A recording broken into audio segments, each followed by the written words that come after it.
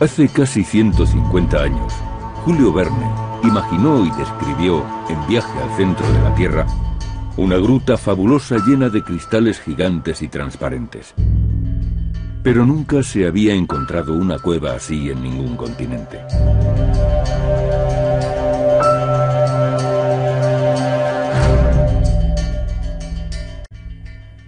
Naika, la cueva de cristal.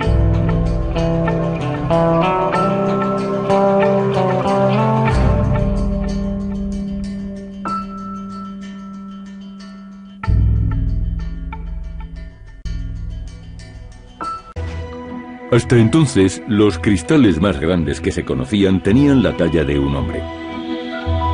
Nadie había imaginado que podrían alcanzar, como estos de Naika, los 13 metros de altura, igual que un edificio de tres pisos. La temperatura aumenta de pronto, ya estamos a 50 grados, es como la entrada de un horno. Y allí arriba la temperatura es de 60 grados, 60 grados.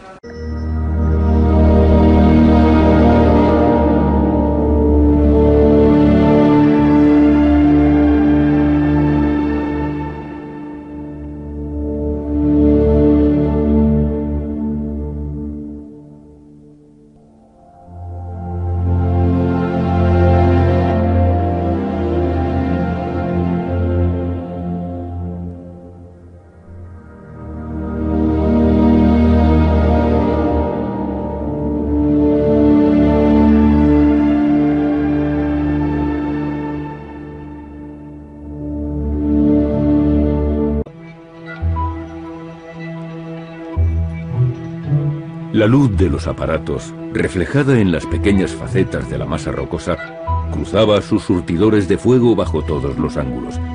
Y yo me imaginaba viajando por un diamante hueco, en el que los rayos se rompían en mil destellos.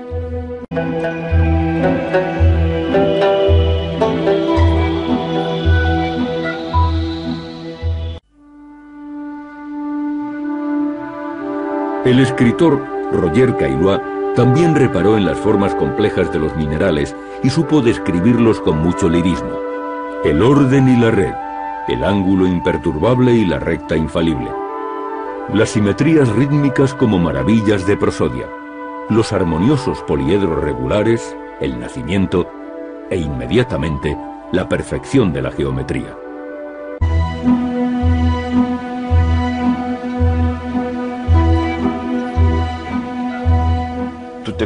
Todas esas estructuras parecen bosques, bosques vivos, que evolucionan de un modo extremadamente lento, pero que tienen vida.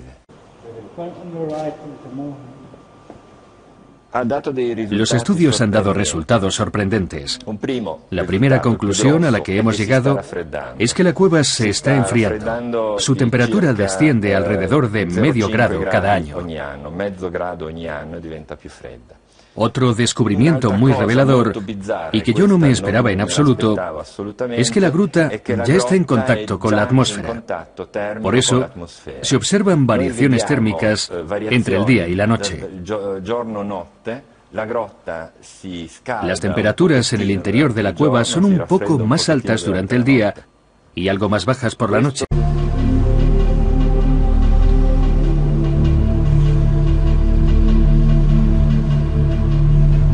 Para Julio Verne, hundirse en las entrañas de la Tierra equivalía a remontarse en el tiempo hasta los orígenes de nuestro planeta. Todo aventurero es consciente de su propia soledad. Y la cueva de Naika es como una matriz que nos acerca a nuestros orígenes.